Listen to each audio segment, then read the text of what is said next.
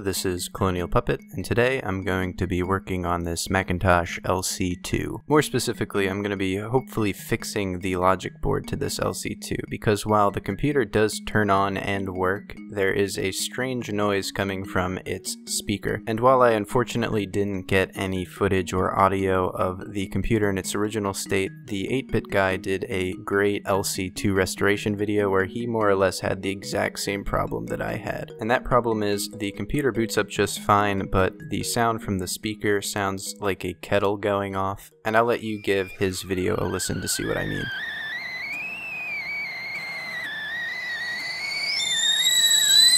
So needless to say, this is a relatively common issue with these LC computers, and it's caused by leaking capacitors on the logic board, which is an issue that plagues most of Apple's computers from the early and mid 90s. So with that bit of context out of the way, let's see if we can get this logic board working like new again. So right off the bat, you can see this logic board is pretty gross. Aside from losing their capacitance, these electrolytic capacitors tend to leak corrosive fluids onto the board, which can be damaging if not cleaned up. But before doing any cleaning, I first decided to remove these RAM sticks as well as these four ICs from the logic board. And unfortunately, I don't have any fancy chip puller at the moment, so I decided to coat this flat-tipped screwdriver in duct tape and use it to slowly pry either end of each of the chips. It's important to keep these chips as level as possible when removing them to avoid bending any of the legs.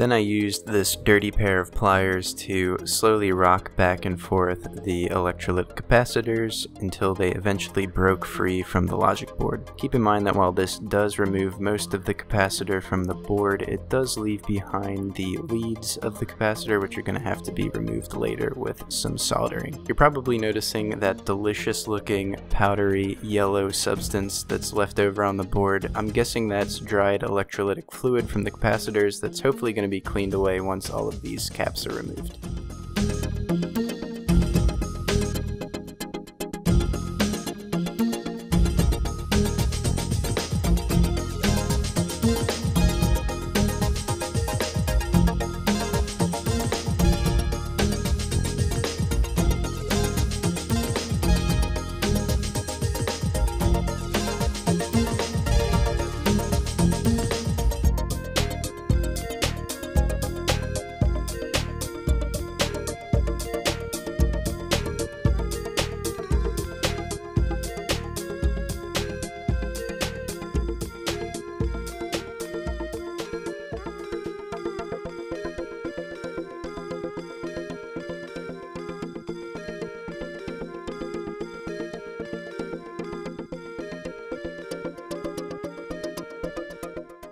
Okay, so now that all the caps are removed, you can get a good look at how disgusting this board really is. And the first thing I'm going to do to clean up this mess is drop in some isopropyl alcohol and give the areas where the caps were a light scrubbing with a toothbrush. And I want to make a note that I'm scrubbing very gently with this brush. I even break out a cotton swab because I don't want to damage anything on the board. Specifically, the legs of the CPU are especially fragile and can bend or even break if you're too rough with a brush. After spot cleaning, cleaning with alcohol the areas of the board with the highest concentration of capacitors, I then moved to my dishwasher to give the entire board a good cleaning. And while this may seem like a pretty sketchy method of cleaning electronics, the truth is it should be just fine if I let it properly dry afterwards. And after letting the board dry under a fan for almost an entire day, you can see that the board is looking a lot better. That yellow residue is completely gone, and I can now move on to removing the old capacitor leads with some soldering. And to do that, I first add some flux to the board, and then this soldering braid makes quick work of the old leads. And usually the leads stick to the soldering braid, but if it doesn't, I break out the tweezers to fully remove it from the board. And apart from removing the old capacitor leads, I also use the soldering braid to remove any old solder as well.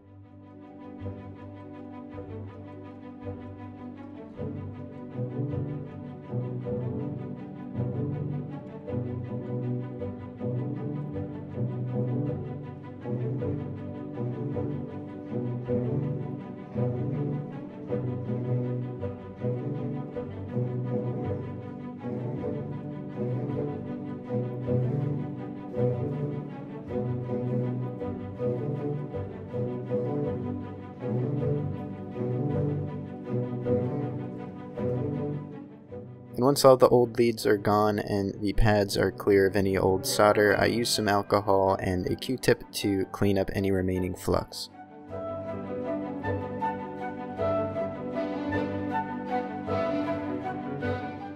And as you can see, these pads are looking a lot better and they're ready for their new capacitors. And the new caps I'm going to be using are these tantalum capacitors I bought off of console5.com. They're not sponsoring me for this video, they just make really good cap kits for these Macintosh computers. And while these tantalum capacitors are a lot smaller to work with compared to the old tin can electrolytic capacitors that this computer started off with, I do find them a lot easier to work with. And to attach these new caps, I first load up one of the two pads with solder, and then I use a pair of tweezers to carefully get the cap into position position while reheating the pad with solder on it. And this locks the capacitor in place so I can then add solder to the second pad. And that's really all there is to it, so now to repeat this step for the rest of the capacitors.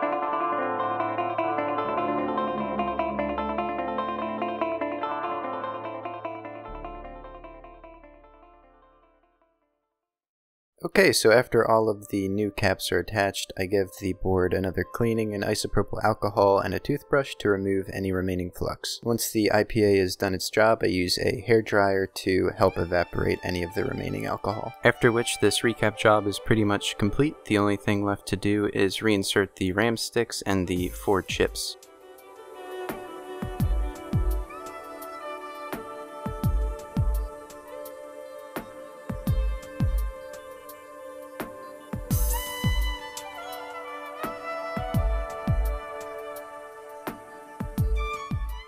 Then I give the board one last blast with some compressed air before reinserting it into the LC2 and reassembling the computer for testing.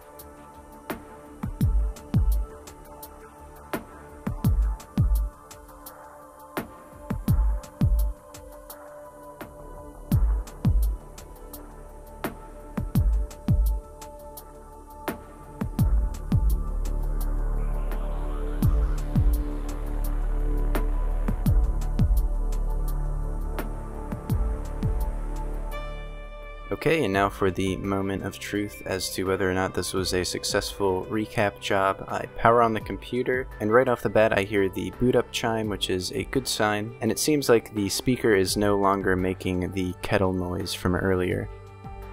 For some reason this monochromatic duck popped up while booting, which didn't happen the first time I powered on the computer, but I don't think it's a sign that there's anything wrong with it. And as you can see, it booted up to the desktop without any issues, so I'm gonna have to call this recap job a success, and I hope you enjoyed this video. This is part one of what I hope to be a two-part series where I fully restore this LC2 computer. In part two, I hope to cosmetically restore the computer as well as test out its floppy drive and install an ethernet card. So be on the lookout for that next episode, and as always, this has been Colonial Puppet. Have a great day.